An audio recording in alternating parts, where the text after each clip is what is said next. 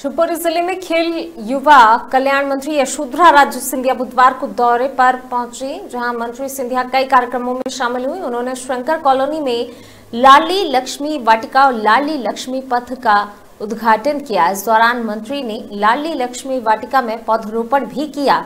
लाली लक्ष्मी वाटिका और लाली लक्ष्मी पथ लोकार्पण के लिए राज्य स्तरीय कार्यक्रम का आयोजन किया गया।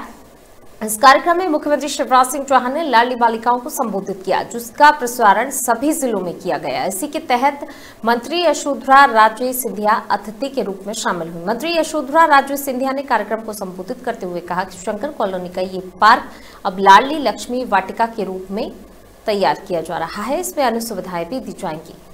आप इसकी पेड़, पौधे पानी वानी सब आप ही देखोगे। कहीं कहीं नगर की महिलाओं की भी ज़रूरत है।